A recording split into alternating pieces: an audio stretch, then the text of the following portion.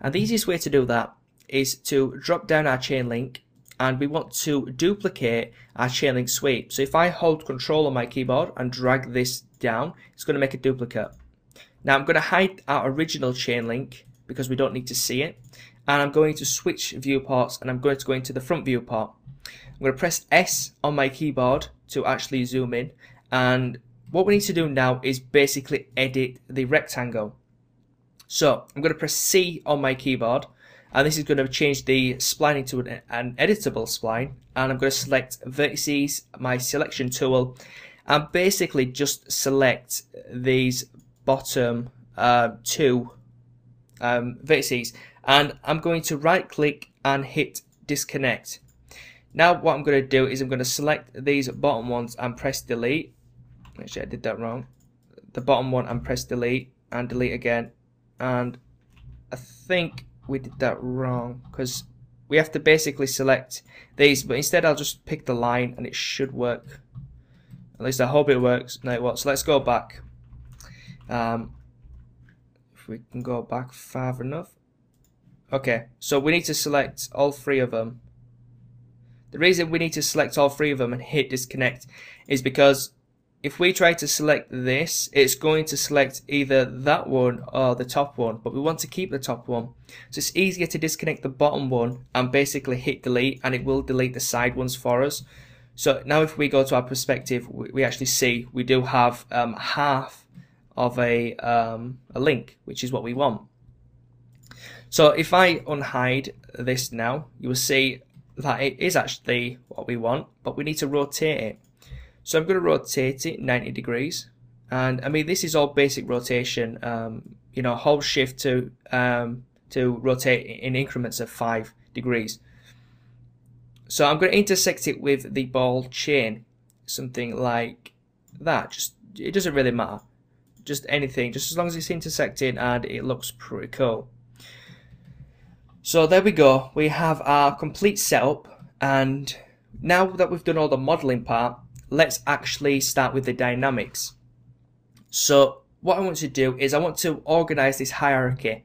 So the, the sphere is at the bottom and then the chain link which we're going to call um, sphere um, didn't mean to press space there um, sphere um, connector so what we've got we've got the ball connected to the sphere connector and then the sphere connector is connected to the chain and the chain is connecting to the torus hook. So it's just a hierarchy. So I'm going to select all these and press alt J just to basically group these up. Um, and what we need to do now is rename this to um, finished chain link. Now that we've got our finished chain link we need to basically select the null object and move this up because it is at world um, world center. We need to move it up like so. Doesn't really matter how much just as long as you're not interacting with the floor that we're going to put in. So I'm going to go and create a plane. And this plane can be any size. I'm going to make it 2000 by 2000 and the segments are going to be one because we don't need um, any polygons on this apart from one. And I'm going to drag that down the bottom rename this floor. There we go. So, what we need to do now is we need to select all these objects here. Go to right click and go to simulation tags and add collider body. Now what this is going to do is going to add a collider body tag to all of the objects that we want to affect. If you press play, nothing happens. The reason for this is because they're collide objects. So now we need to change the ones that we want to be dynamic. So we want basically the ball, the ball chain and the ball connector to actually be dynamic. So I'm going to click the sphere. I'm going to click the ball connector and chain link. Go to dynamics and turn the dynamics on. That's going to convert into a rigid body tag. It's just the same as going right clicking, and going to simulation rigid body. So if I press play now, a lot of things are going to go wrong.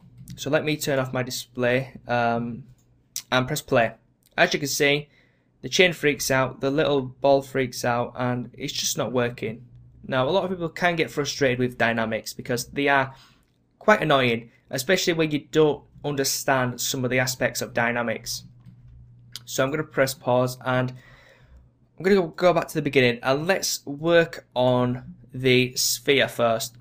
So the sphere is basically, we don't want it to be too bouncy. So we're going to go into the collision tag and we're also going to go to the bounce and let's reduce this to something like 10 but we want to increase the friction because it's going to be metal. So something like 90 and this isn't really going to affect anything major. It's just if things are interacting with each other the bounce does matter such as if I put the bounce on the floor up to something ridiculous like 500% and press play you see the the metal it really does bounce which isn't you know, too realistic. So if we put it up really something crazy, you can see the ball does do something really weird. so as you can see, you can have fun with this. Um, but of course, I don't want any um, bounce on the floor really because um, the sphere itself will do the bouncing. And I put the friction up to 80%. I mean, these numbers aren't specific, they're just random numbers that I'm putting in. Um, obviously, the higher percentage, the more friction you're going to have, the less the less friction you're going to have. So the floor is complete, the, this, the ball is complete. So let's go to the connector. So let's go back to the beginning and zoom into the connector. Now what we need to do is we need to reduce the bounce eh, obviously on this one and increase the friction to 90. Now the most important thing is the shape. Now the shape determines um, what objects can actually interact with each other and which objects can't. Now if you look at this um, this chain link. And if you imagine that you wrap this chain link in cling film and you actually try and put your finger through the middle of it, you're going to obviously encounter some resistance. And, you know, depending on how much cling film you have, it, it could be impossible for you to just to poke your fin finger through it. So it's stopping you from poking your finger through it. And you could say the, the same if it was like an elastic band. If you put your finger um, onto elastic band trying to push it through and you relax your finger then the elastic band's basically going to push your finger out um, I hope that made sense it's kind of hard to um, explain the way this works.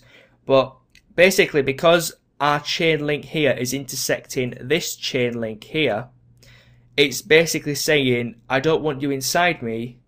Get out. That's what she said.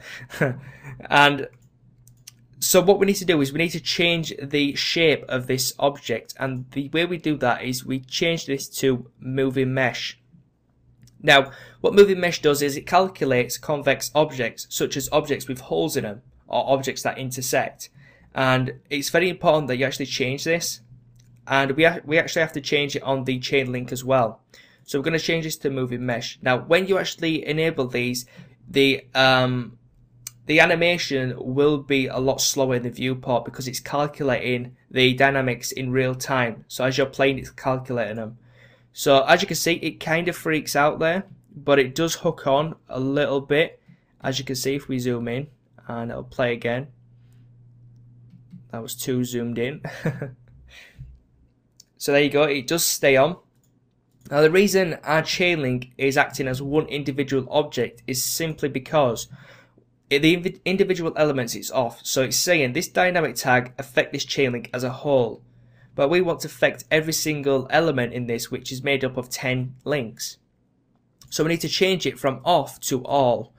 Now if we press play, you will see that it does actually stay connected to uh, the bottom chain link, as you can see.